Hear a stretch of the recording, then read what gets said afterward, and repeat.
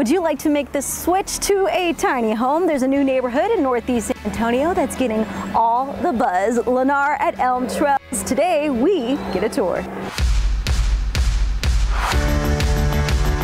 Well, hello there. Hey, how are you, Rhonda? Good. Welcome to Lennar at Elm Trails. Thanks for having me. It's so nice. Tell me all about the community. We're located in northeast side of San Antonio near Converse. Easy commute to downtown or to your job. Yes. It's a nice alternative to apartment living too, right? It is. Absolutely it is. Okay, well, we're going to get a tour. Tell me about this model here. This is the Henley floor plan.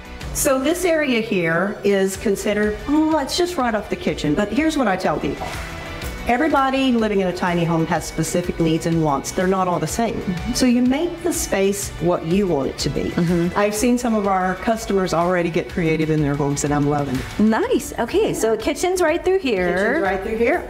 Everything you need. The cutest part of this home is this little dishwasher. Oh, Is that not the that's so cute. Now I ask everyone that comes in here, what would you do with this extra space? Yes, yes. I've heard all kinds of things. Uh, some people want to put a dog bed under there. Some people want more storage for pantry. Yes. But I did have a lady, my favorite, she had it framed in, she sent me a picture, a wine cabinet. I was going to say, how'd you know I was thinking that? Yes. Wait, that'd be a perfect little wine area. Yes. Here we are in the designated bedroom. However, some people say that they wouldn't put their bedroom here, and I'm going to show you why in a few minutes. Okay. Okay? Okay. Now, the bathroom, well designed. People think in a tiny home that the bathroom's going to be tiny. Mm-hmm. But take a look at this. Oh, yeah, plenty of Full stand up shower, and behind the door, that's where you can put your stackable washers and dryers. Oh, nice. Yes. So let's go upstairs. I feel like you're going to tell me why that bedroom down there was. I'm going to tell you why. Remember, I said creative with your space. Yes.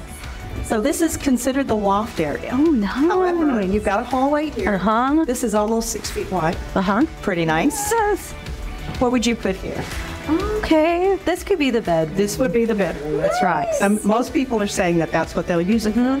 You have plenty of room for a queen size bed.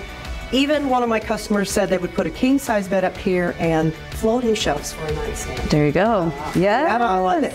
And one of my customers did say, we have room for all of the essentials, but not the clutter. There you go. Yeah. Which helps you to declutter, right? Because that's what we're always trying to do in our lives. And then another restroom here, more space here, right? That you can get creative with. Most people say they put a couch here, TV there. Plenty of room even for a 65 inch TV. Yeah, you're right. hmm I can see that. So we put in solid surface countertops everywhere.